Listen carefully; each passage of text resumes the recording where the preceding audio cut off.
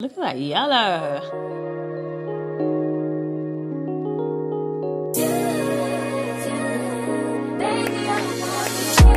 Hi guys, welcome to my channel. It's your girl Sonya Elle Dee. Hope you're all keeping well in these crazy times. So for today, I'm just gonna have a play or I'll turn the camera on, let you guys play along. Oh God, no. could have gone really wrong there, but hey. I've picked up a random palette that I've had in my collection for a little bit now and I've not got round to using. I think I do have all of them, not 100% sure. I do have quite a few of them, haven't tried any of them, but I thought this would be a good one to play with today just because don't know what kind of look I want to do today, not 100% sure. I just want something really, really sexy and I'm just, hmm, whatever that means. One of my favorite bases to use on my eyes is the P. Louise base. So I'm just gonna go in with that all over my eyelid. So in this palette, you do get one half which is shimmers and then the other half which is just mattes and they are exactly the same shades on each side. No surprises, I will be starting with this deep aubergine color here. And with the Morphe M149 I'll be mapping out my crease area. The hooded ladies if you do this while looking down you're going to come into problems later. So if you hold your mirror a little bit up like look up with your eyes and then map out your crease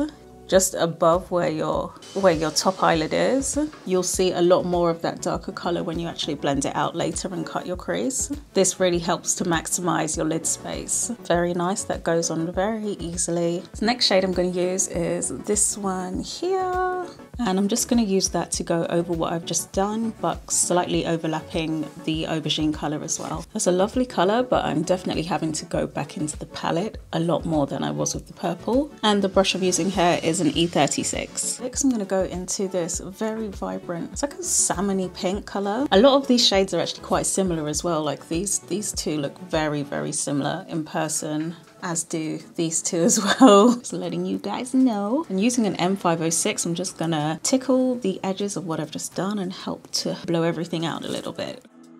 So I'm just gonna repeat those colors again and just re-intensify and start to really shape this eye out. It should be a beautiful mess at this point and that's all right, that's all right.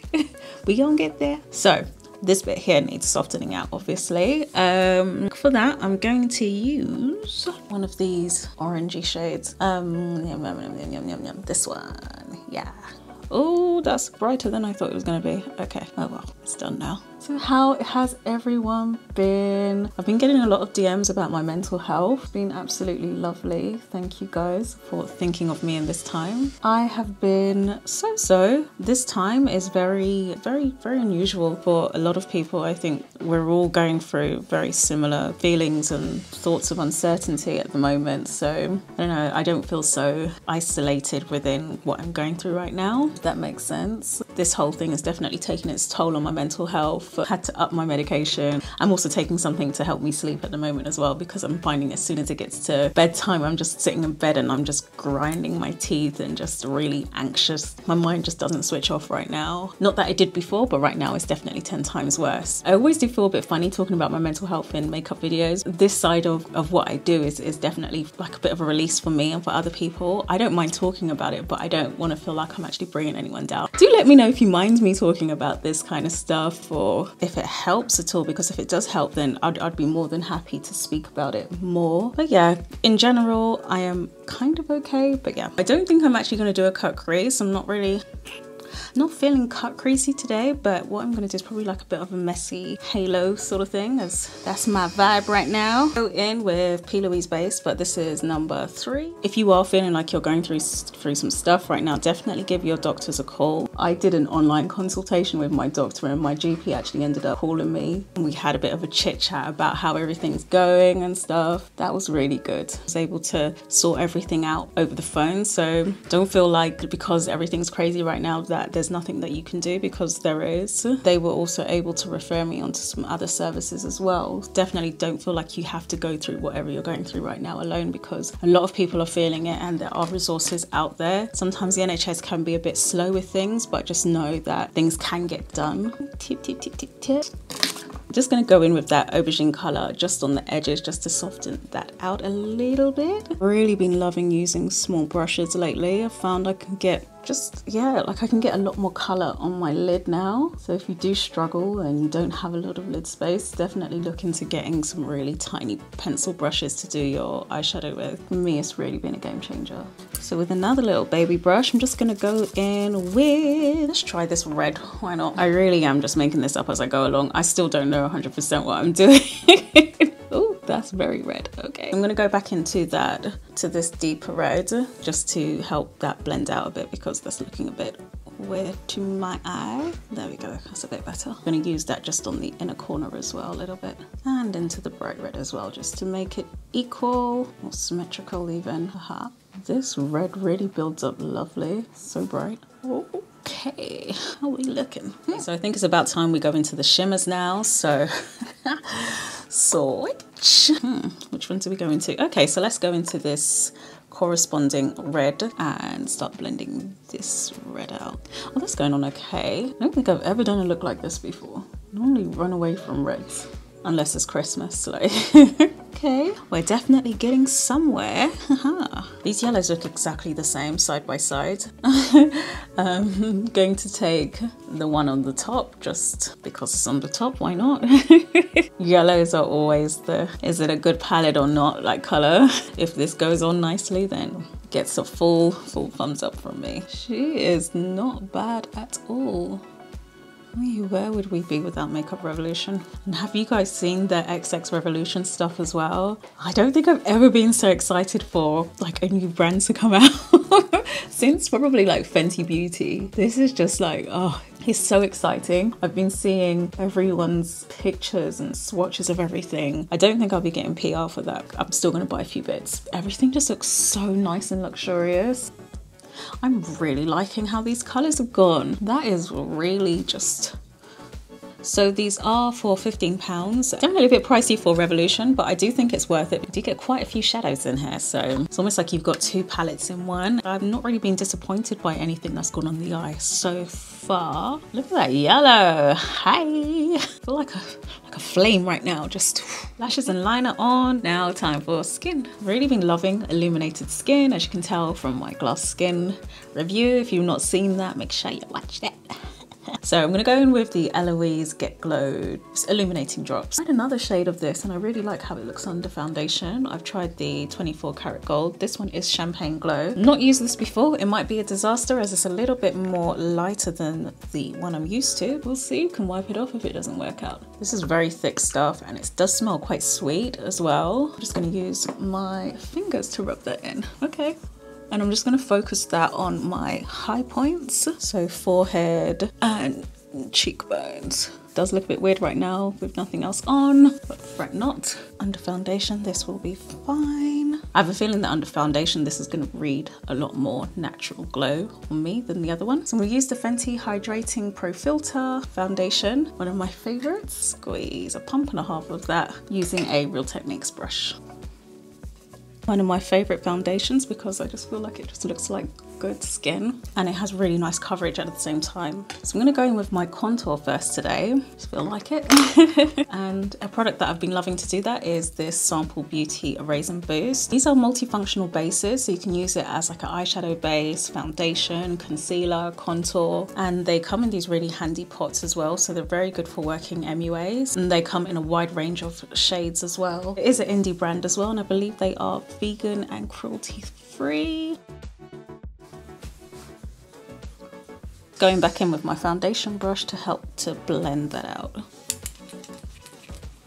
And I should be having a detailed highlight and contour video up dedicated just to that very soon. So for concealer, I'm going to use a mixture of my L'Oreal Infallible in Toffee and Fit Me Maybelline in the shade 40. Love both of these concealers, but this one's just a little bit too, just a little bit on the lighter side, but I like it right here in my inner corner, just to brighten that area up. And a little bit there, boom, boom. And with the Fit Me, I just like to use this to do the rest. It's a lot lighter in consistency and it's a bit deeper in shade so it blends better with the rest of my foundation whereas the Infallible's a lot lighter in shade but thicker in consistency. So this just gives me the highlight that I need right in the center of my face. So I do just like to go in with a little foundation brush and tap that out. Once I get to this stage, I like to go in with my squishy, my squishy, squishy Cosmic Brushes blender and just use the round side of that to start to tap that out gently and taking off any excess product. Literally, it's the lightest touch. I can barely feel it on my face. I'm not uh, smushing it in. I'm just tapping lightly just to even everything out. Just go back in with my foundation brush just to go over any edges, anything I may have missed. My favorite powders, Huda Beauty Kunafa, Kunafa, Kunafa. I'm not sure how you say it. I just like to get a little bit of this ready and prepared on a brush. So just a small little powder brush like this I'll just have that ready, ready and waiting in one hand, beauty sponge in the other hand. And I'll just quickly tap out where any foundation and concealer may be collecting under my eyes and then go straight in afterwards with the powder. So I'm thinking of doing a like dedicated how to do your makeup in your 30s kind of thing. Guys, do let me know if that will be helpful to you at all. don't see much content like that on YouTube at the moment, but I know, I know we're out there and I know that we're also watching as well. So do let me know if you'd like that. I'm just gonna run a little bit of the base under my lash line. The same M149 brush from earlier, I'm just gonna tap that onto my lash line first. I'm just gonna go into this orange here next, just to blend everything out now. So this is the Eloise, I think they're called get lit or get glowed or something. I'll definitely have it on the screen. And this shade is electric blue. So beautiful and it matches the shade of my top, the color of my top even. Totally not intended. I'm just gonna push that on my tear duct area. This may not look good, okay? We're in now. What have I done? I think I should go in with a brush actually instead of this. Ah, see that's going on a lot better now. I almost feel like I need some blue on the outside as well do it. Am I gonna do it? I'm gonna do it. Okay. Ooh, I'm digging that. Hey! So I just had a little idea. I thought, let me try it before, try it without talking first. So yeah, I just think I'm just doing like a little graphic line of something, something on the outside, you know, just to bring everything together. That looks really nice and modern. Love that. I really, really love that. So I've just gone in, put some on the back of my hand and gone in with a Cosmic Brushes liner brush. These brushes are amazing. Look at this. Ah, they've got like little gold flakes in them. I tell you, I'm just like a little child with these. Just sitting there just... if you are trying something like this, definitely do it before you do your lashes as lashes just get in the way. And I must say that has really amplified everything. Ooh, I feel like a, a future kid now. Keeping with the blue, I think I'm gonna put a little blue eyeliner on. Just gonna use Wunder2 Essential Blue. I think this is, oh sorry, Essential Royal Blue. And these, if you are looking for some really good coloured eyeliners. These are the best that I've used. I do have pretty sensitive eyes and these just don't seem to be irritating to them at all just gonna prime my lower lash with Essence Lash Primer. This actually could be quite a cool look with white lower lashes. While that dries, I'm gonna just do my highlighting on with that. Everything falling. With the Patricia Bright You Are Gold, Patricia Bright X Revolution, You Are Gold palette. Is that the one? Yeah, You Are Gold. And I'm just gonna dust the bronzer contour shade over my cheekbones. Five head. this really just gives you that look, you know, you know, just that look, like Patricia did it. I just look like I've stepped off a beach, skin-wise. Ignore the eyeshadow. Skin-wise, this is I have just stepped off a beach, like. Uh, and I'll bring that down on my body a bit because my face is looking extremely, extremely dead. now I'm sun-kissed. May have put too much bronzer on, but I am a bronzer addict, so I've always loved this kind of look. For highlight, I'm going to go in with this palette from Gerard Cosmetics. I think I'm going to use the shade, I believe this is Lucy. Deepest shade here. This whole palette is beautiful. If you see this, pick it up. It's so nice. These two are definitely my most used shades. And as per usual, I just like to use the same shades on my brow bone as well, just to bring everything in unison. In unison. excited. Nose bridge, because because that's what we do here. Lower lash line, I'm just gonna go over that with the Essence Princess Mascara. Go. And this for me is probably one of the best inexpensive mascaras out there at the moment. I'm gonna go in with this ombre blush from Rude Cosmetics. I'm just gonna dust that on ever so lightly on my cheek apples. Oh, this is such a nice orangey shade, which I really love in the summer. Kind of just goes with that whole bronzy tans look. I'm just gonna put on some stones. These are from Poundland. Not the best you can get.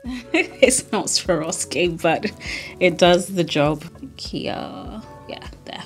Do I like there? I think I like there. On the inside here as well. Ooh, oh, that's pretty. I am her, yes. For lips, I'm gonna go in with a combination of Obsession Liner from MUA Cosmetics and Revolution Lip Vinyl in the shade Chauffeur. Hopefully this is a good combination. I have faith in it. Yes, I like it already. These are super duper duper thick and really pigmented colors as well. I like to use my finger to blend the gloss in with the liner. You can use a brush, but I don't like having lots of things to clean at the end of the day. it is one of those that gets on your teeth a lot though. This is a really lovely combination, but it does get on your teeth a lot. So if you are wearing this out post quarantine, make sure you've got some good friends with you. so I'm just gonna go in with a little bit of the Pro Fix from Makeup Revolution. So here we have the finished look guys. I'm absolutely loving it. I love how this eye turned out and I'm really liking this little addition of kind of a graphic liner with everything. And I think these colors look really nice together as well. This lip combo is, mm, yes, you will be seeing this quite a few times as I think this may be a go-to lip for me. I hope you guys have enjoyed this tutorial and hanging out with me today. Be sure to subscribe if you haven't already and also hit the like button. Stay safe, stay well, and I'll see you guys next time.